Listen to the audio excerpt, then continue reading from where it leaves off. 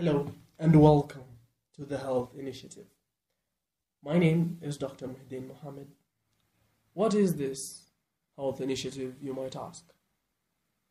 Well, this is a platform that will contribute immensely on educating the general public on the intricate matter that is health.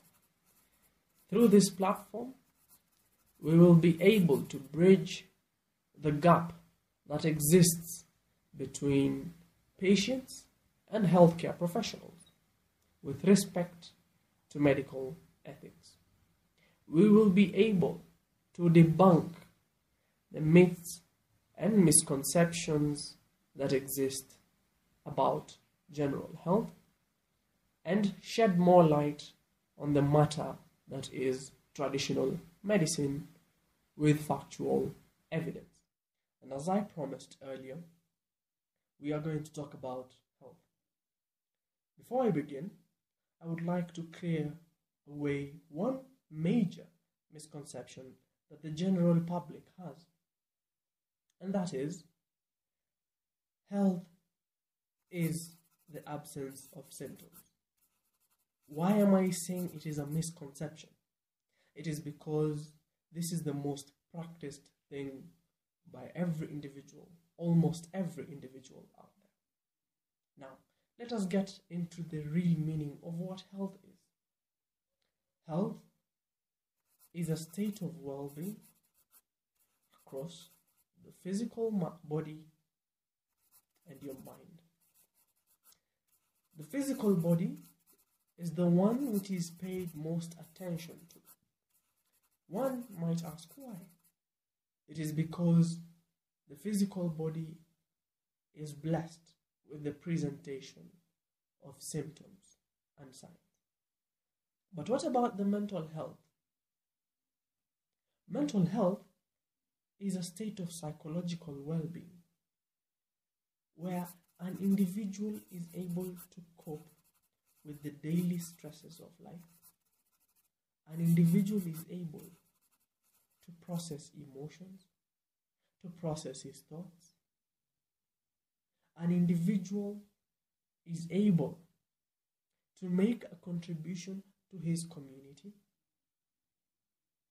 Okay? And this individual is able to fully realize the potential of his abilities. That is simply mental. Another misconception I will clear away with is the absence of mental disorders is not mental health. Finally, a request to you, members of the general public, is to practice regular medical checkups. Why do you think we are asking you to do this? It is because through you coming for a consistent medical checkup, we are able to recognize diseases early and be able to prevent their progression and some treatment. Now, a study done by WHO from 2000 to current 2019 and this study shows that about 70% of deaths globally is due to non-communicable diseases. Then, what are these non-communicable diseases? These are conditions that affect the heart, for example, high blood pressure, for example, diabetes, for example, respiratory diseases, for ex uh, in particular, chronic obstructive pulmonary disease, that is because of smoking and other occupational hazards. Now, through this study, they were able to see that there are risk factors that are present for the development of such numbers. Um, what do I mean when I say risk factors? We're talking about, we are talking about habits. Habits such as drinking, habits such as smoking, habits such as a sedentary lifestyle, where you have minimal physical activity and your body ends up having such kind of illnesses. Through practicing regular medical checkups, we are able to reduce the number of deaths that is due to such conditions.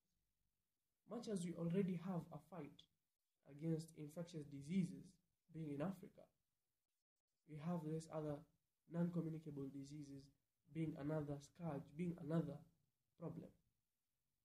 You understand? So, with all this said, I'd like to thank you for listening and ask you to please subscribe, like this video, and spread this word.